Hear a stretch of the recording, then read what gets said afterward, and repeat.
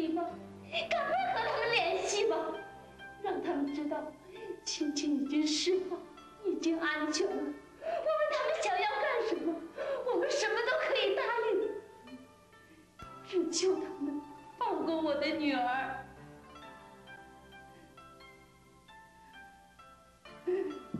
拜托了，我不敢请求你们的原谅和宽恕。我只请你看在孩子无辜的份上，好不好？好不好？你们的孩子无辜，我们的小草难道不无辜吗？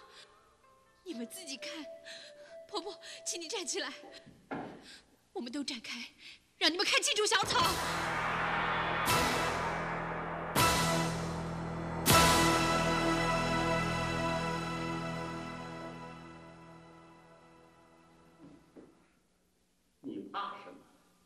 你有脸面对群众侃侃而谈，却没有脸面对这么个小小的女孩吗？你从来没有照过一个孩子是吗？你从来没有照过一个孩子是吗？是吗？不，我赔钱，我赔钱好不好？你们开个数。住口！谁要你的臭钱？对。你就是有再多的钱，也不能还给我们一个完好如初的小草。今天只不过是你们的女儿被抓走了，你们就已经着急心痛成这个样子。那么想想看，撞车那天，我们眼睁睁看着小草在你车底下被拖着，我们的心都撕裂了，你知不知道？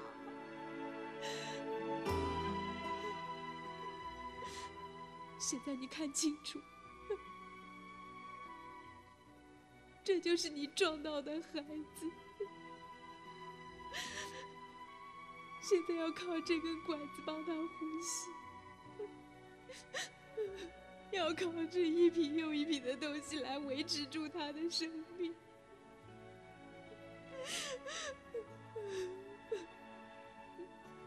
每天，每天。时时刻刻的注射，护士都已经找不到血管了。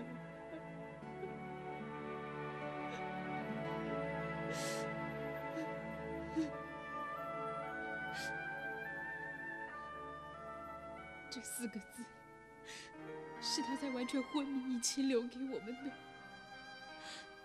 他已经不能说话。只能对着这整叠卡片慢慢挑，再挑出这四个字。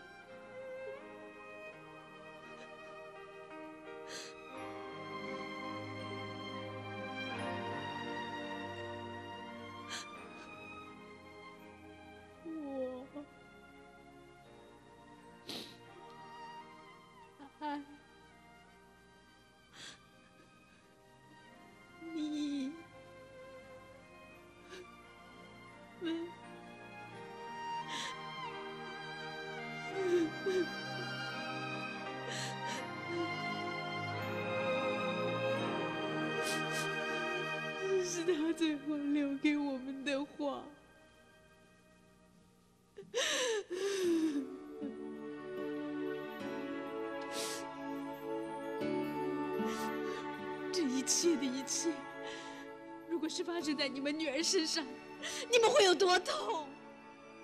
你们自己想象一下。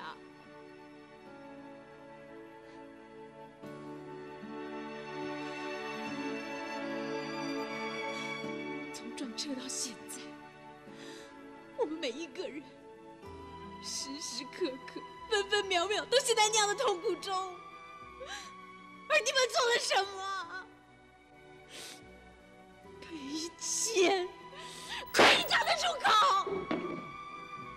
你你别发呆，你别发呆呀！赶快，我们给人下跪，我们给人磕头。你说错了，你求饶。你忏悔呀，英英，你快，说，你说，你说，你说。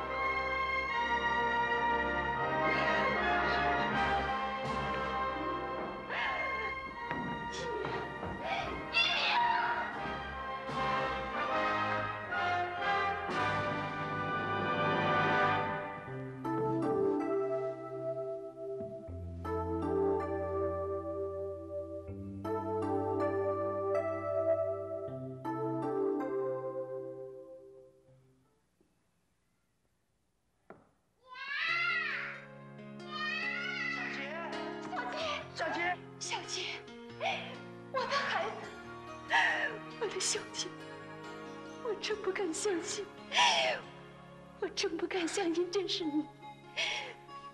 你有没有受伤？他们有没有打你？有没有虐待你？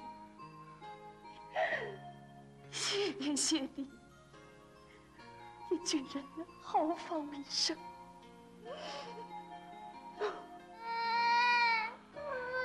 你说话呀，孩子，你有没有受罪？有没有吓着？我好怕，我好怕。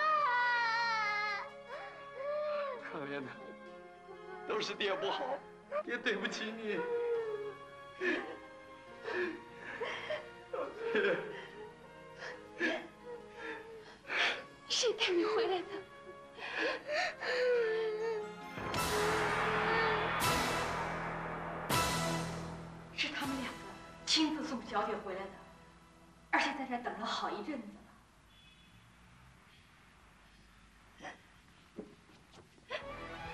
你们的手下留情，真是太谢谢。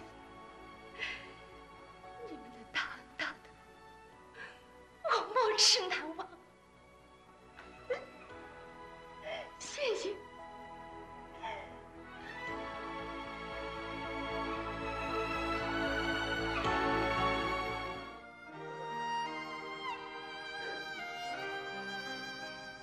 太太，你没事吧？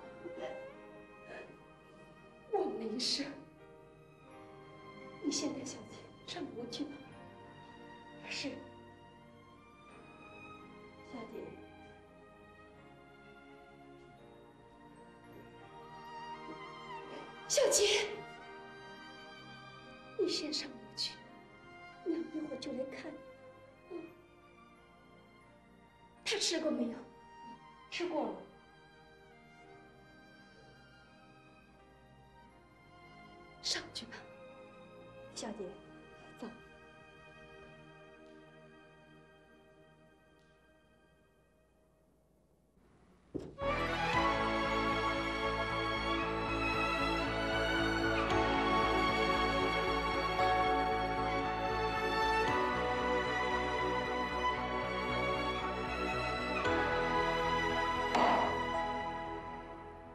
我们把小杰带到山上，本来打算把他丢在那儿，任他自生自灭。可是最后，我们还是狠不下这个心。不管愤怒怎样迷糊了理智，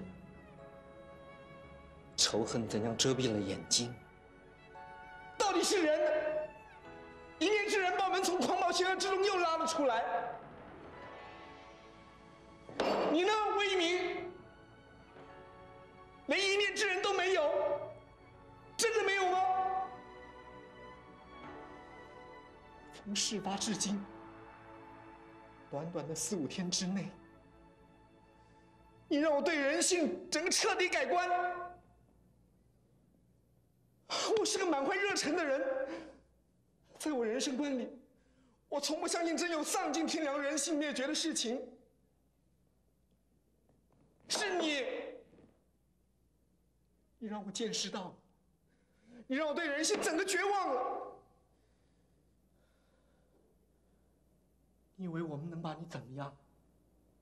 杀了你，就算真杀了你，也换不回小草，这对我们有什么意义呢？不要你的命，什么也不要。只要你承认，承认是你撞了小草。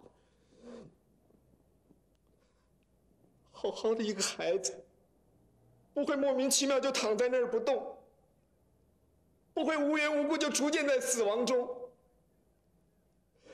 必须有人站出来承认，承认是他错了，他错了。他愿意负所有的责任，如此而已啊！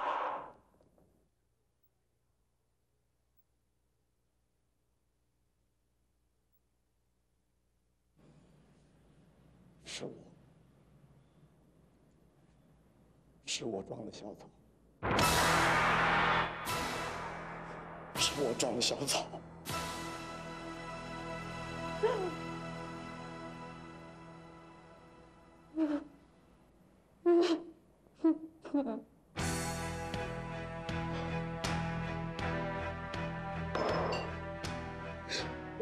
只是想抽一根烟，可是烟掉了，我去捡烟去，我根本就不知道撞了人了，我还以为是一块石头什么的。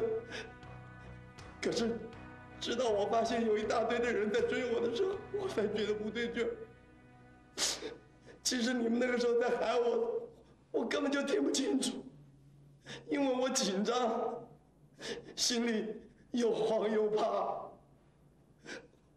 我没法多想什么。